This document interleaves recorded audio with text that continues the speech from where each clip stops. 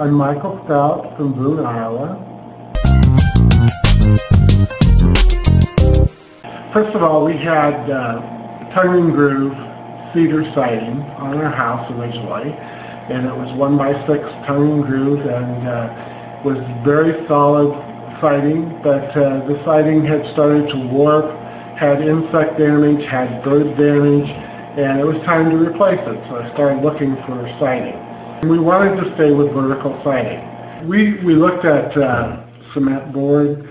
Uh, we looked at replacing it with uh, cedar siding that we already, you know, similar to what we already had, but then we were just going to have the same problem that we already had. Um, we looked at steel siding. I couldn't find any steel siding or cement product that would end up looking like the cedar siding that we have. Uh, we wanted a siding that looked like aged cedar siding. They had some siding that had foam back insulation on it. And uh, when I got to looking at it, none of the vertical siding had foam back type insulation, but I thought that was such a great idea. So I started looking on the internet to try to find companies that would provide insulation for vinyl siding. And uh, in my search there, Fullback came up. And uh, I looked at their website, and uh, the thing that really caught my attention and got me very excited was somewhere on that, fairly soon in the web page, it says, we can make it to fit anybody's site. And so that was the start of me getting involved with fullback insulation. So at that point, I knew I didn't have to worry about what siding we eventually ended up with.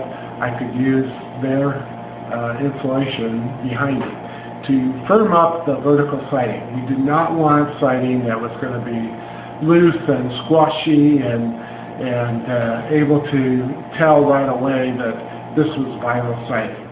So the insulation adds to that. Later on, I found out all the other benefits about uh, the insecticide treatment that they do on it and also the R value of what it would add to the home with the fullback having the R4 value on the vertical siding. I thought that was just one more good thing about it. The website is a wonderful website, and I love the uh, the installation instructions they had on there. Um, they kind of guide you right to it because our contractor was very nervous about trying to put this on because he never put on insulation before.